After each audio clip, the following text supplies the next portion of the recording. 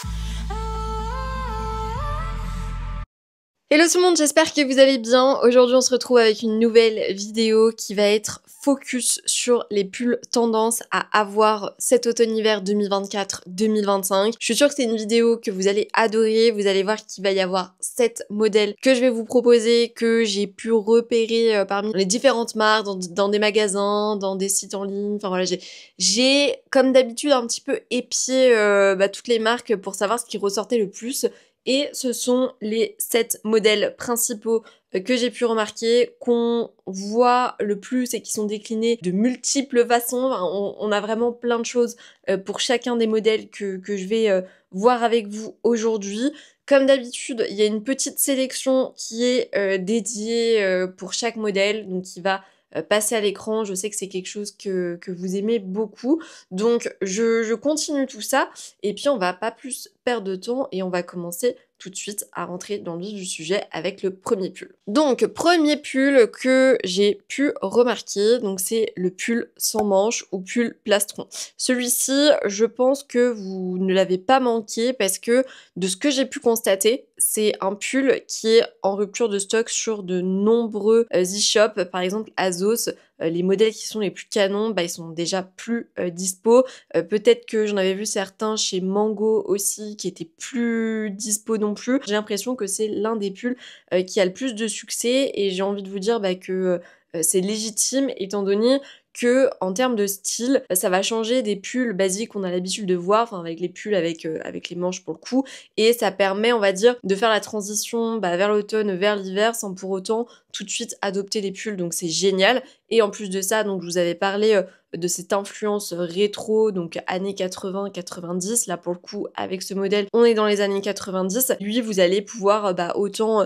je sais pas, le porter avec un t-shirt en dessous, dans le cas où c'est un plastron, par exemple. Mais vous pouvez aussi très bien opter pour une chemise, pour une blouse, que ce soit de toute façon le plus sans manche ou le plus plastron. Il n'y a pas d'impératif par rapport à ça, c'est surtout en fait en fonction des températures. Le pull plastron, pour celles qui ne connaissent pas, euh, ça ressemble un petit peu à la, capuche dont je vous avais déjà parlé, donc la capuche Fudun.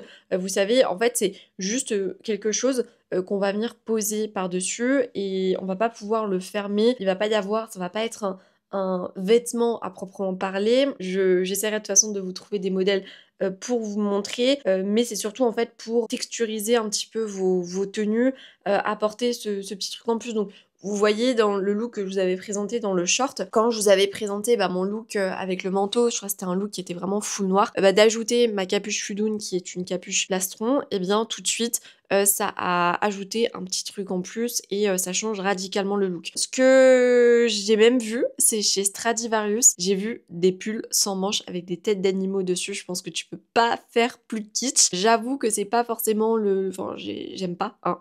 On va être honnête, mais en fait ça m'a fait tellement que je me suis dit que bah il fallait que je vous en parle. Enfin, J'exagère en vous disant que ça m'a fait rire, mais en tout cas quand j'ai vu ça, je me suis dit mais what the fuck, euh, pourquoi il y a ce genre de truc sur Stradivarius? Est-ce qu'il y a vraiment des gens qui achètent des pulls sans manches avec des grosses têtes de chihuahua dessus? Après j'ai rien contre les personnes qui s'habillent comme ça, mais je trouve que ça fait tellement kitsch, c'est trop drôle. Vous avez donc euh, la possibilité d'opter pour différentes couleurs. Il me semble que je vous les trouvais en chocolat. Ceux qui sont plus trop disponibles en termes de couleurs, bah, c'est plutôt les, couleurs pastel. Euh, sinon, vous avez aussi euh, bah, tout ce qui est motif, carreaux. Enfin voilà, il y a, y a, un petit peu de choix par rapport à ça. Donc n'hésitez pas à les regarder. Et il y a notamment un modèle donc chez la petite mendigote. Euh, vous savez que, j'adore euh, cette boutique. À chaque fois, je vous propose, enfin, je vous propose souvent plusieurs articles dans mes sélections. Bon, c'est un peu cher, mais je trouve que niveau qualité, euh, niveau aussi euh, modèle, enfin c'est des choses qui sont quand même relativement travaillées. Donc euh, personnellement j'ai eu un coup de cœur pour le pull Macanaille, le modèle rouge en particulier après le blanc est, aussi très beau. Second pull que j'ai pu voir, donc c'est le pull en tressée. Alors pour celui-ci, je pense qu'on va avoir deux teams. On va avoir celle qui le considère peut-être davantage comme un basique et les autres qui le considèrent davantage comme une tendance. Je vous avoue que le pull en maille tressé, enfin le pull en maille torsadé, comme vous voulez. Je trouve qu'on est sur un, un pull en fait très hivernal. Pour moi, en fait, on, sort ce pull quand il fait moins 10 ou alors quand tu pars euh, en vacances au ski. Euh, je trouve que ouais, c'est un, esprit très rustique et selon le modèle, je suis plus ou moins fan. Euh, ça va dépendre aussi de l'association, enfin les pièces avec lesquelles vous portez. Mais en fait, ça a ce côté rustique, ça a ce côté un peu, pas vieillot parce que c'est pas le cas, mais c'est vintage. Et je suis pas non plus ultra fan. J'en ai quelques-uns, mais à chaque fois que je le mets, enfin, sur les autres, je trouve que c'est super beau, mais quand je le mets, je me dis, mais en fait, on dirait une mamie. Alors pourtant, c'est un col, un col carré. Alors je sais plus où est-ce que je l'avais chopé. C'est un pull qu'on va pas mal retrouver, donc avec des couleurs euh, plus ou moins redondantes, plus ou moins classiques. On n'a pas forcément de couleurs super punchy euh, par rapport à ça. Mais en revanche, quand vous voulez un look assez euh, cosy, un petit peu voilà dimanche devant la, cheminée, ben ce, genre de pull c'est un incontournable. Après, si vous adorez aussi le porter pour aller travailler, libre à vous de, le faire. Hein. Vous n'êtes pas obligé de l'associer avec votre legging du dimanche, vous pouvez aussi euh, l'associer avec euh, un jean taille haute ou un pantalon qui va être très élégant, c'est à vous de voir. C'est vrai que je l'ai même pas dit, mais pour ceux et celles qui viennent d'arriver sur la chaîne, donc bienvenue, je m'appelle Ilona, on est sur une chaîne 100% mode, alors pas que parce que en 2025 je vais aussi me marier, donc il y a plein de contenus autour du mariage qui vont arriver. En fait, euh, tant qu'on a deux minutes, là, je vais vous faire une petite parenthèse.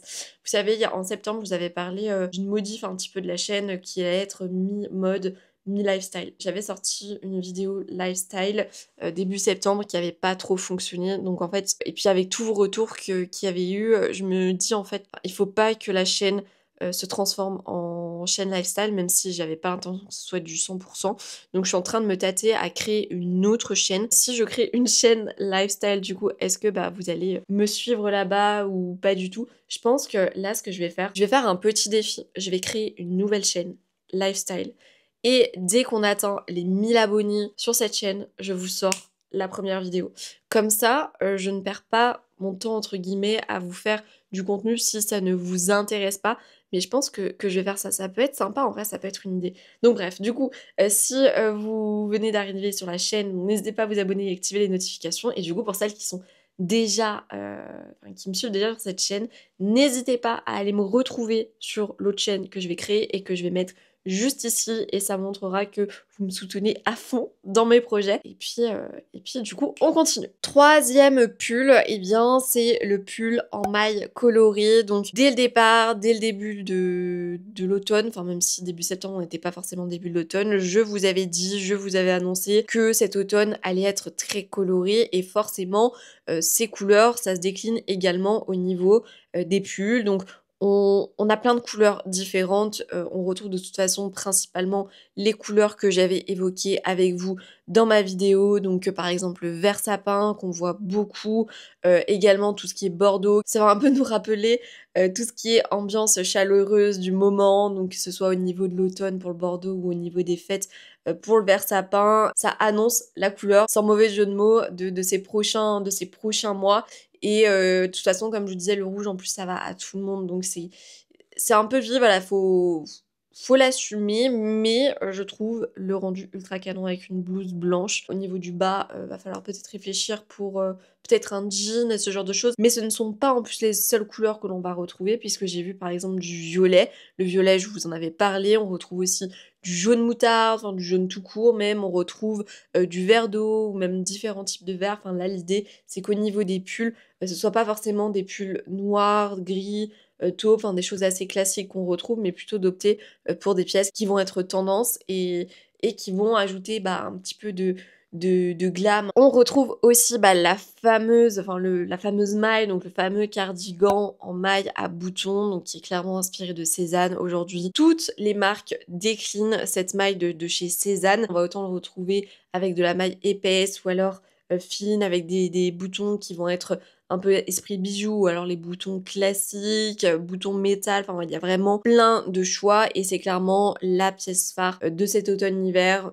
plutôt même de cet hiver étant donné, enfin dans le cas où vous partez sur quelque chose de plus épais, euh, parce que généralement on est sur des matières qui tiennent bien bien chaud. Et ce que je peux même vous recommander bah, selon le, look que vous voulez avoir bah, si vous voulez porter un petit peu style effortless vous pouvez très bien par exemple l'associer avec un t-shirt en dessous ou alors un body à vous de voir. Mais laisser le t-shirt apparent bah, ça fait genre vous avez fait un, petit truc en plus alors que en fait vous avez juste mis un t-shirt et vous avez juste laissé ouvert votre, votre maille. Je viens de capter qu'en fait je suis pas sûre qu'on dise la petite mandigote, j'ai l'impression en fait qu'on dit petite mendigote et je sais pas pourquoi, depuis le début en fait, je me suis mis dans la tête qu'on disait la petite mendigote.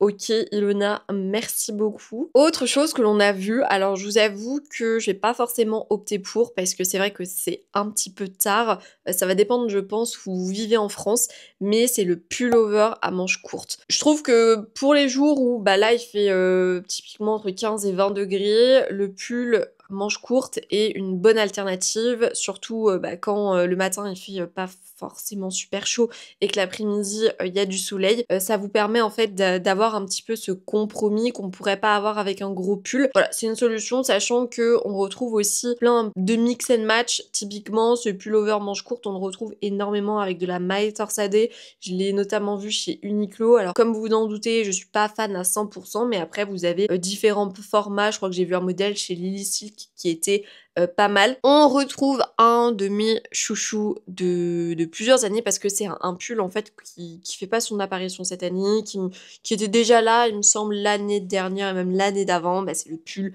euh, camionneur, donc vous savez, avec euh, le gros col, généralement on le voit zippé, bon il y a plein de, déclinaisons possibles. Pour moi c'est aussi un incontournable, on peut le porter autant avec euh, le col un petit peu ouvert, ça c'est quelque chose qui est vachement vu chez les hommes notamment, mais on peut aussi très bien au cas où on a froid, fermer le zip et avoir une sorte de, col roulé. Pour les prochaines semaines ça peut être plutôt pas mal, j'ai notamment vu un modèle de chez Boo que je trouve incroyable qui est bleu, un bleu très vif avec des rayures blanches et je, le trouve vraiment sympa. N'hésitez pas vous à me dire ce que vous en pensez en commentaire. Et cette année d'ailleurs, euh, si vous en cherchez, je trouve que Mango propose vraiment plein de modèles, on a toute une panoplie, vous allez vraiment avoir le choix. Je vous mettrai des petits liens, mais je vous invite à aller voir, enfin à aller jeter au moins un petit coup d'œil parce qu'il y a de quoi faire. Par rapport à ce pull, ce qui est génial en fait, c'est qu'on peut autant l'associer avec des, pièces qui vont être habillées qu'avec des pièces qui vont être bah, plus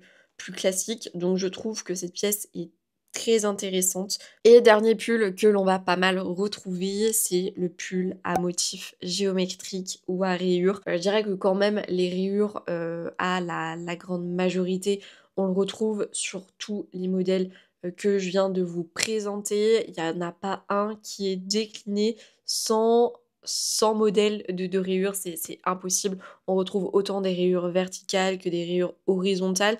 Après, je vous parlais de, motifs euh, géométriques. Par exemple, j'ai vu un, pull un peu inspiré euh, losange chez Mango. Ça correspond un petit peu en fait au pull de Noël aussi qu'on retrouve. vous savez, le cliché des États-Unis avec pas mal de formes géométriques. Ça aussi, j'essaierai de vous retrouver quelques modèles. On retrouve aussi quelques pulls bicolores, donc encore une fois avec des formes. Je vous ai parlé des rayures, mais là, je viens de, voir dans mes notes parce que j'avais zappé. On retrouve aussi, alors surtout chez Mango, parce que c'est pas forcément quelque chose que j'ai remarqué sur, chez d'autres marques, c'est qu'on a énormément euh, de bords contrastants euh, sur, euh, sur les différents gilets, pulls et cols aussi. C'est une autre possibilité que vous avez, mais globalement quand même, on remarque que cette année, au niveau des pulls, on est bah, sur un look très rétro. On est beaucoup moins euh, sur le style des, années 2000. Là, on est vraiment entre 1980 et 1995, 80 et un peu plus. Et je trouve que c'est euh, très intéressant. Enfin, c'est une période, en tout cas, au niveau du style que je trouve trop cool. Et euh, voilà, évidemment, c'est remodelé de, manière un petit peu plus moderne et contemporaine pour que ça aille avec nos,